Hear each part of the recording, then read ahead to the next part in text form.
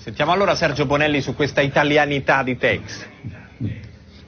Beh, italianità, ripeto, fino, fino a un certo punto. Eh? Perché intanto io eh, ricordo a Luca Raffaelli che noi abbiamo abbondantemente dato a Barcellona, città che frequentavamo, anzi festival per così dire, che frequentavamo fino a pochi, fino a pochi anni fa, quando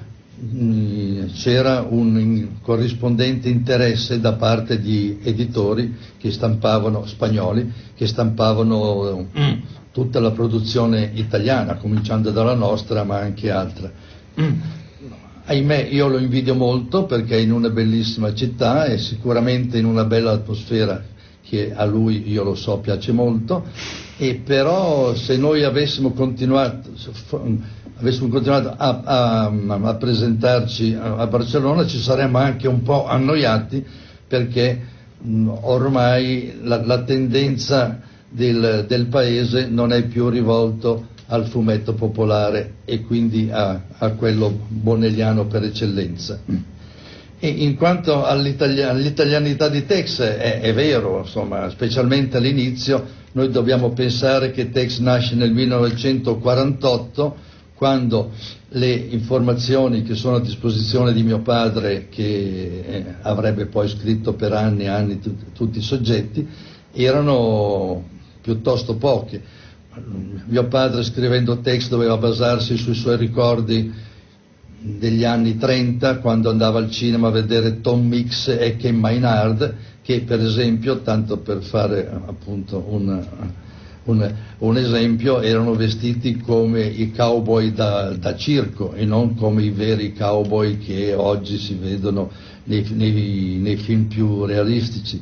Non aveva a disposizione mio padre eh, e neanche i disegnatori, va detto, soprattutto loro, non aveva a disposizione né libri né riviste come eh, eh, sarebbe successo poi soltanto una decina di anni dopo e quindi evidentemente eh, ci si basava eh, su dei, dei, ricordi agresti italiani. Galleppini, per esempio, eh, all'inizio non, non, non, poteva sapere che cosa fosse o come fosse fatto precisamente un Winchester e quindi si accontentava di disegnare una fattoria toscana invece del ranch. E, e, poi invece metteva in mano una doppietta che magari aveva visto in mano a suo zio quando andava a caccia in Toscana. E quindi dovevamo un po' arrangiarci, tant'è vero che Tex per esempio vanta e ostenta delle, delle canottiere come quelle che tutti gli italiani me compreso, usavano nel, negli, anni, negli, anni, 40 e canottiera che per fortuna però non era solo italiana, ecco per esempio i francesi erano contentissimi di vedere Tex in canottiera invece che in una calzamaglia perché tutto sommato forse l'avevano inventata loro, credo di aver letto da qualche parte addirittura Marsiglia e quindi per fortuna non, questa diciamo interzionalità eh,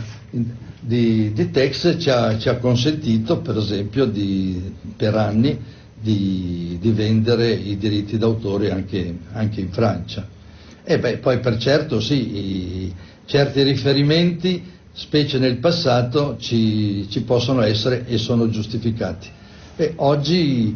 invece ci sforziamo, evidentemente abbiamo tutti i mezzi a disposizione, una, una libreria in, pressoché infinita. Eh, Beh certo, oggi insomma, la, la, situazione è, è, immagino ben diversa in quanto a stimoli insomma, a possibilità no, di rifarsi mm. ad altre immagini. Sentiamo Luca Valtorta. Io volevo fare una domanda a Sergio, stimolata appunto da uh, una serie di cose che, che stanno succedendo appunto. Uh, vedi la mostra al Comic Con di Napoli, ma anche il fatto per esempio eh, che eh, al Comic Con di Napoli eh, Tex ha vinto, mi diceva prima Claudio Curcio, il premio Attilio Micheluzzi come migliore serie. Eh, suscitando, mi dicevi, anche qualche polemica tra i... No, ma io, io, io penso che si, si, ricolleghi benissimo a quello che diceva eh, Sergio Bonelli da, da, Milano, cioè che eh, gli strumenti sono, sono, sono, forse cambiati. Oggi, gli sceneggiatori di oggi hanno, hanno più strumenti e, e quindi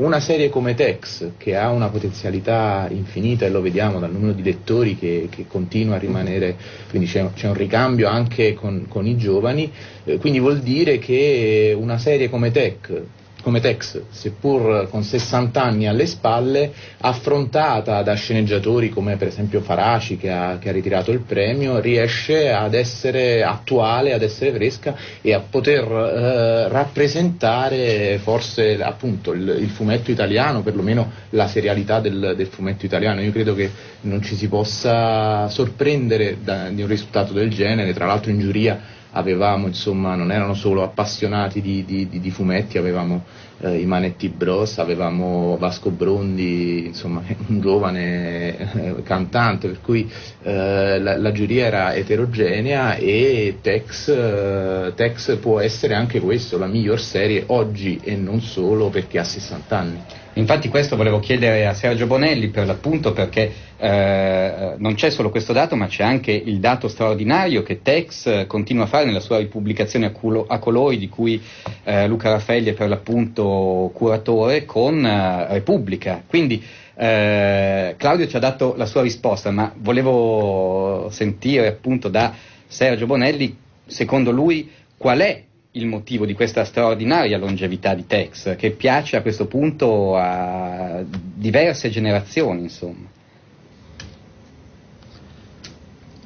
Beh, io mi rifaccio a quanto, quanto è stato detto a proposito delle polemiche, le, le polemiche non mi, sorpre- non, non mi sorprendono affatto perché ci siamo abituati. Io vengo indicato da, da, da molto tempo come un editore popolare e accetto ben volentieri questo mio, questo mio ruolo, anche perché nel frattempo io, mm. Se è vero che per certi aspetti noi siamo più che tradizionalisti, nel caso di Tex evidentemente lo siamo, ma eh, la, la, casa editrice dimostra la sua vitalità, la sua volontà di inserirsi in un, in un contesto più moderno con altri titoli, con altri autori e quindi a me fa piacere accettare quello che non i nemici ma eh, gli, amici e, e, tutti quanti mi riconoscono abbastanza, cioè il, il fatto che io abbia cercato di essere il mediatore tra il fumetto popolare, cioè la portata di tutti, e, ma anche con, con, quello diciamo un po' più sofisticato e avendo dei risultati, io dico, sicuramente, sicuramente, interessanti. Eh, non, a, non, a, caso il, eh, chi, ha, chi, ha, disegnato la, la copertina di Tex lavora normalmente con noi e cerchiamo, adesso non dovrei dirlo perché lui è di, è di, fronte a me, abbiamo persino il coraggio di proporle a dei lettori che sono veramente tradizionalisti, come è il, pubblico di Tex, che è inutile negarlo, è costituito più da gente che ha qualche filo bianco come, come ce l'ho io, e, e piuttosto che dai, dai giovanissimi.